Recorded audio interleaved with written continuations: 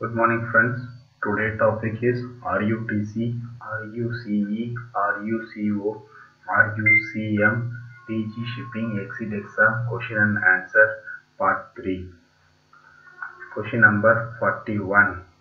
As per the new regulation STCW chapter 8 1.2 admi- administration must establish preventing alcohol abuse a limit is set not exceeding option A 0.05 percentage blood alcohol.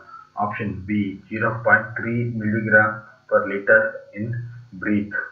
Option C 0.1 percentage blood alcohol. Option D option 0.5 percentage 5 milligram per liter in breath.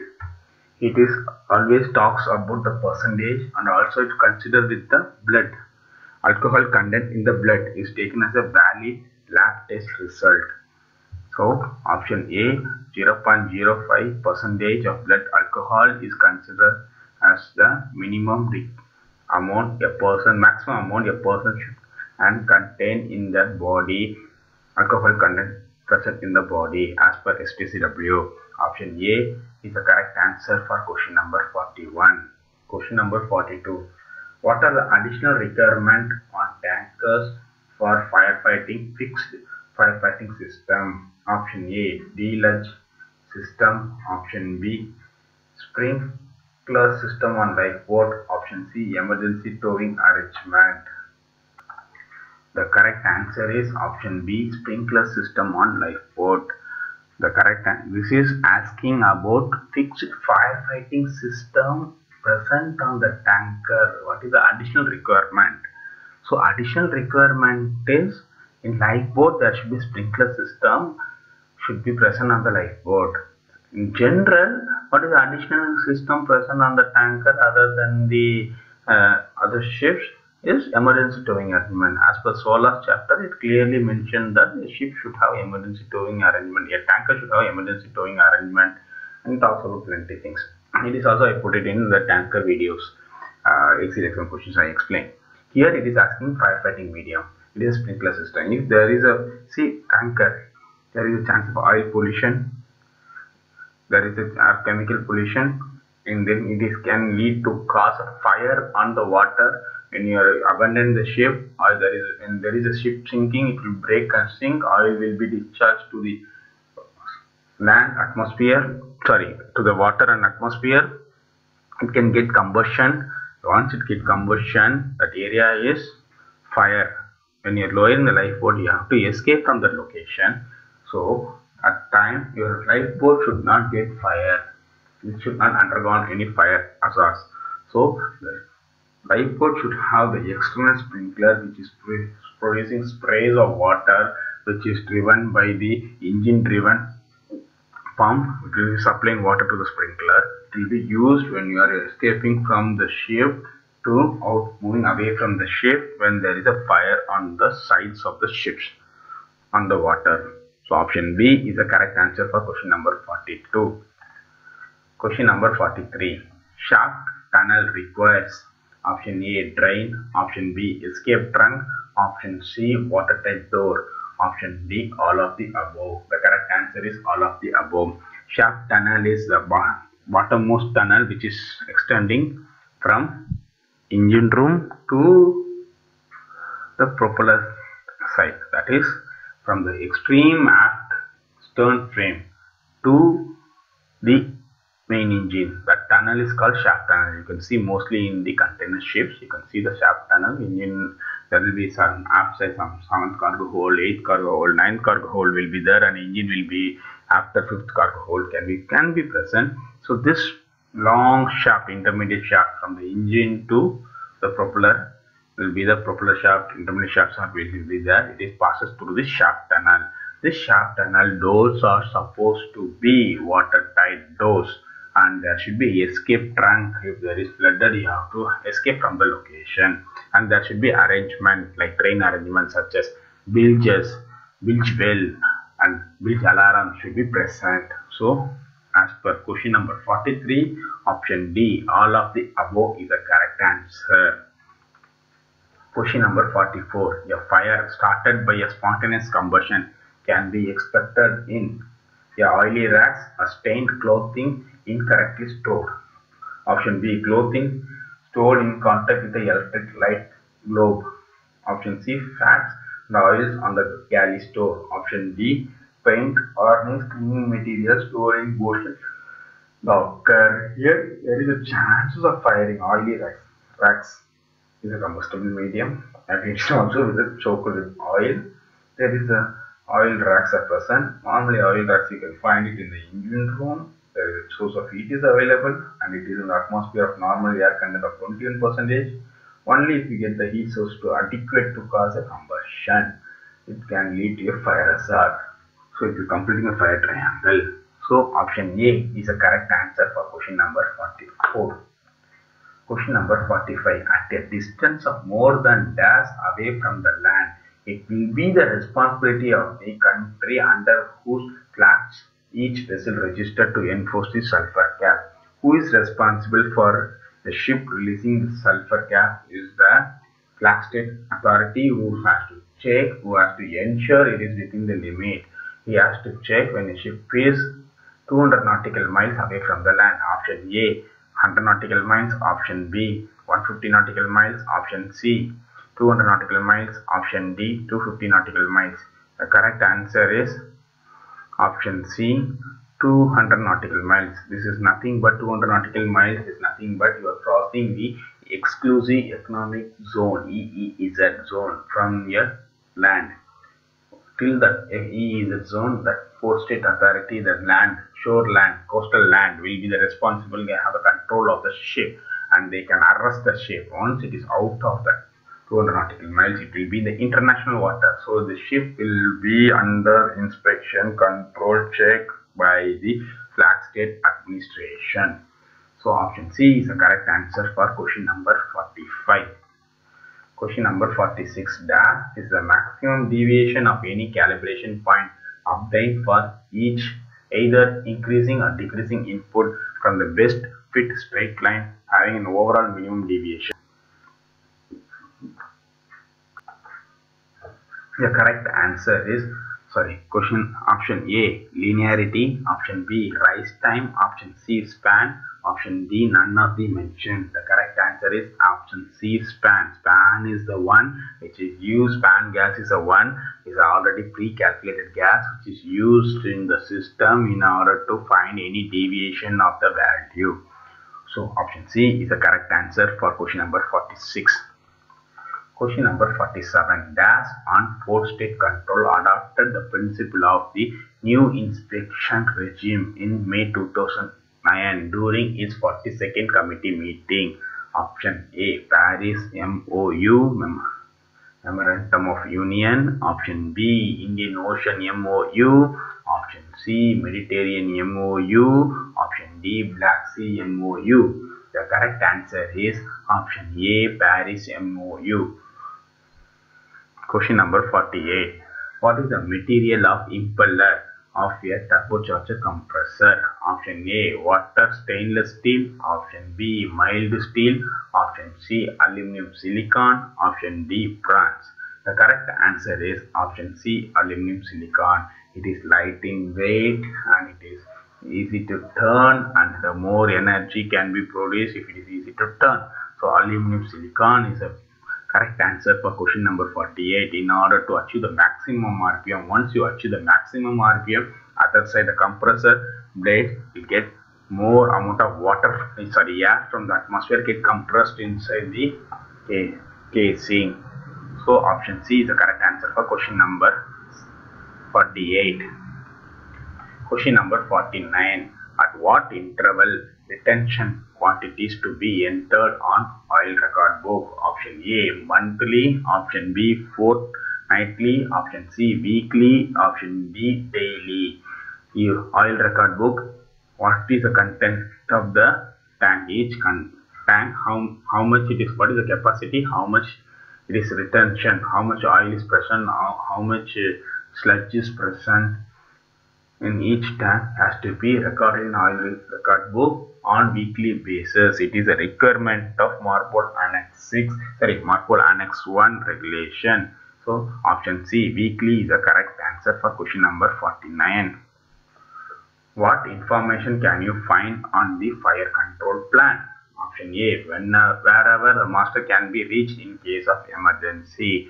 Option B, how to use the firefighting appliance as correctly. How, C, how to respond in case of fire. Option D. Option D, the location of firefighting appliances. Fire control plan is nothing but it was showing the general arrangement of the ship and location of the fire extinguisher, fire hydrant, and sprinkler systems, the smoke detector, heat detectors, it will showing only the location. So option D, the location of the firefighting appliances is the correct answer for question number 50, fire control plan. Question number 51, to extinguish a fire in a ship and in the galley you would option A use the fire hose. Option B throw water over it. Option C use the fire blanket. Option D allow it to burn out on its own. The correct answer is use the fire blanket if there is a fire on the galley on the pan if you're using water the oil will be splashed over. The water get boil off at the temperature it will be burst. If when you are putting water droplet it will get burst. You cannot use the water. It will enhance the fire it enrich the fire.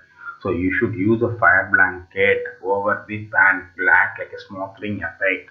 Cut off the oxygen to the fire so option c is the correct answer for question number 51 question 52 instruction for onboard maintenance of life-saving appliances shall be easily understood and illustrated wherever possible which of the following items do not necessarily have to be included in the instruction according to present regulation?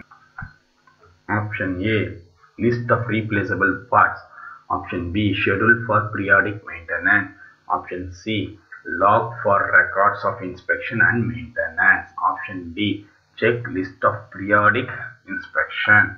The correct answer is option A. List of replaceable parts. It is not required to be mentioned as per LSP, life-saving appliances. The thing which is not to be mentioned is not required. It is option A, list of replaceable part. It is not required to mention anywhere. I have to record uh. Okay, what part I change all those things. But you have to mention the logbook when you carried out inspection, what maintenance you have carried out. But you have to be mention it. So, question number 42, option A is the correct answer. Question number 53. Among the amendments adopted in the STCW Manila Convention where option A. New requirements relating to training in modern technology such as electronic charts and information system ECDIS. Option B. New training and certification requirements for ETO, Electro-Technical Officer. Option C. Updating of competence requirement for personal survey, surveying on board all types of tankers, including new requirement for personal surveying on liquefied gas tankers. Option D. All of the above. So, what are the mentioned earlier? These are the STCB, STCW Manila Amendment. They say this has to be adopted. You have to go through it, follow it. So option D, all of the above is the correct answer for question number 53. Question number 54. As per the Load Line Convention, exemptions may be considered for sister vessel provided the lightship particular based on a lightship survey by the RO is within the limits prescribed in the Intact Stability Code 2008 as amended. Option A, inclining test. Option B, zigzag maneuver test. Option C, pull-out maneuver test. Option D, turning circle test. Correct answer is option A, inclining test. Inclining test is nothing but the metacentric height, GM test. In order to identify the metacentric height, you will be taking one load on the shape, on the dead shape, and you will be like moving a weight from one location to another location then you will be calculating how much the ship is listed at trim and all other the change of center of gravity from its original position new position. This all be measured. If you measure for the parent vessel, it is not required to measure for the sister vessel which is having the same ditto of all dead weight everything. So load load line is same. Then it is not required. So option A inclining experiment is the correct answer for question number 54. The algebraic difference between the indicated or observed value and the true value of the measured is the option A range, option B overshoot, option C error, option D none of the mentioned. The correct answer is option C error. The actual value, observed value and true value that means what the value is supposed to be correct value. If there is a difference that means that measuring unit is working error. It's not proper. There should be correction. Adjustment has to be made. So option C error is the correct answer for question number 55 question number 56 what statement about immersion suits is true? Option A immersion should immersion suits should be worn while performing routine work on deck option B no storage container for immersion suit may be capable of being locked. Option C. During the annual maintenance, the front zipper should be lubricated using light machine oil or mineral oil. Option D. Any tear or leak will render the suit unserviceable and it must be replaced. If your immersion suit is damaged, it can worn out, broke, cracked. I mean, if it is worn out, damaged, and it is tear and wear is there then you cannot use that life uh, immersion suit in an emergency condition. So it, uh, it is become unserviceable. You have to replace it. Question number 56 option d is the correct answer. Question number 57 minimum number of rocket parachute flags required to be carried on board is option a 12 option b 10 option C 14 option D 6 the correct answer is option A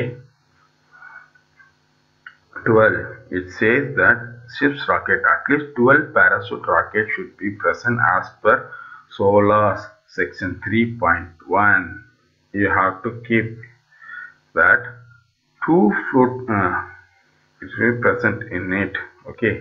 Four rocket parachute six flare guns should be present inside the lifeboat. Four parachute should be in lifeboat. Four parachute should be in life raft and remaining parachute should be on the bridge. So the correct answer is 12. Question number 57 option A is the correct answer. Question number 58.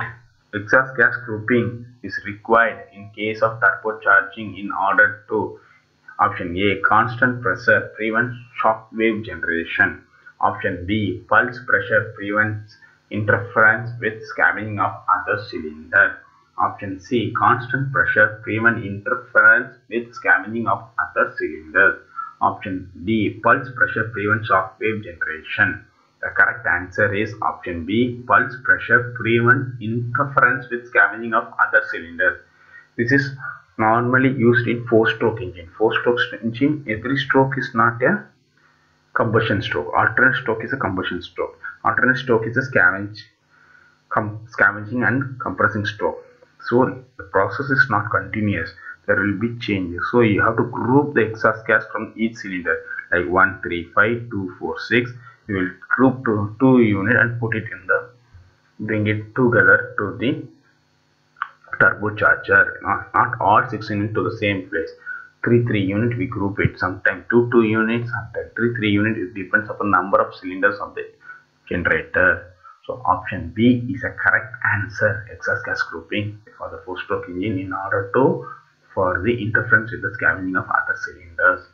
Option b is the correct answer for question number 58 question number 59 at what interval four stroke engine connecting rod bolts are renewed Option A above 50,000 hours. Option B when the bolts are showing maximum allowable elongation. Option C about 25,000 hours. Option D when the bolts are broken down or sheared. The correct answer is when the bolts are shown maximum allowable elongation. But so many websites, so many videos, they are telling option D is the correct answer. What if first is as per Yanmar manual, it is clearly says that if if it is there is no elongation, there is no damage, it is looks normal also. If the bolt comes under the working hour period of 20,000 hours used on the engine, then you have to remove and replace the connecting rod bolts. So here they given 25,000 hours. So it is not possible. Before that, it's we have to change.